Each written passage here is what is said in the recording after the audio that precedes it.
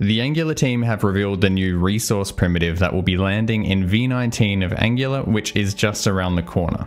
This one has been a long time coming and is significant because there will now be a viable way to code many Angular applications declaratively with just signals. It doesn't mean RxJS won't be useful in Angular applications anymore, but I do think we are getting close to the point where declarative Angular applications without RxJS or anything else that fills that role will be feasible. Let's just jump right into an example because I think it is really compelling. Recently we covered the benefits of declarative code, which involves not reassigning variables while still being able to have things actually change in your application over time.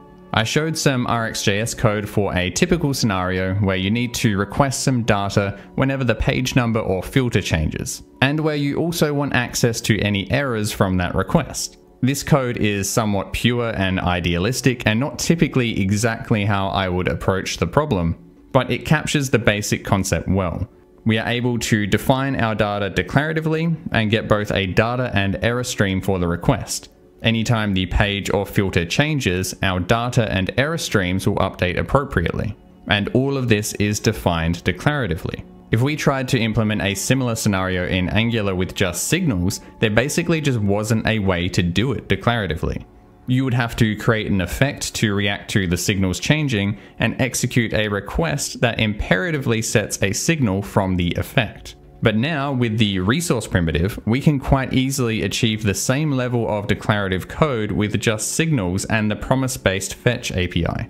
The resource primitive here will return us a writable signal that will provide us with the value from the request, its current status, as in whether it is currently loading or not, and the error if the request causes an error. And since we are able to pass along the abort signal, we even get cancellation of requests in the same way that SwitchMap allows us to cancel an in-progress request with HTTP client if a new request is triggered. So not only is it now possible to handle requests declaratively with just signals, I would argue for this specific circumstance, this is actually just better and easier. It is just one type of scenario that RxJS has been good at handling, but it is also perhaps the most common use of RxJS in Angular apps, an HTTP request with SwitchMap.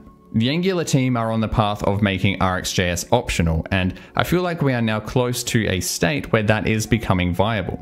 But it is important to keep in mind that these features aren't intended to be RxJS killers. In fact, this API and others have built-in support for RxJS interoperability. RxJS is powerful and will continue to have a role in Angular, but I think likely we will get to a point where RxJS is only used by those people who specifically want to use RxJS.